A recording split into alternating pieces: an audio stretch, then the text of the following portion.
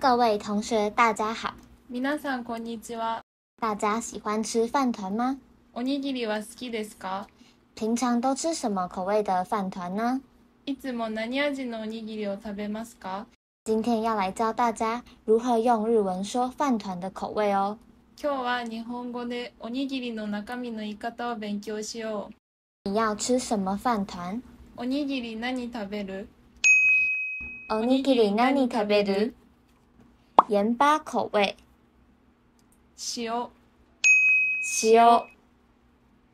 昆布，昆布、昆布。鲑鱼卵，いくら、いくら。明太子，明太子、明太子。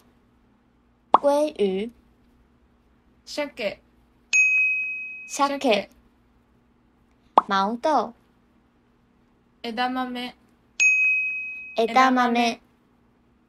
尾鱼，ツナ、ツナ。梅子，梅、梅。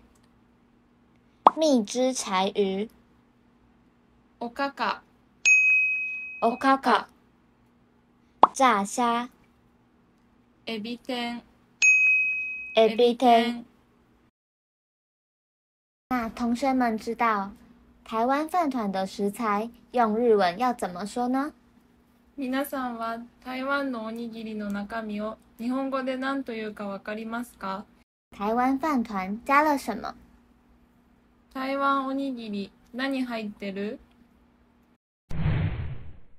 卤蛋、煮卵、煮卵、菜脯、台湾風たくあん、台湾風たくあん、肉松、豚肉の伝部、豚肉の伝部、酸菜、漬物、漬物、油条、台湾風揚げパン、台湾風揚げパン、花生粉、ピーナッツ粉、ピーナッツ粉。最后问同学们一个问题：吃饭团的时候会配什么呢？在台湾会配豆浆、豆乳或米浆。みーちゃんって何？米浆とはお米とピーナッツ粉から作った飲み物です。那么在日本吃饭团的时候会配什么呢？じゃあ日本でおにぎりを食べるとき何と一緒に食べる？日本では味噌汁とたくあんと一緒に食べます。哇，跟台湾不一样呢。有机会同学们也试试看吧。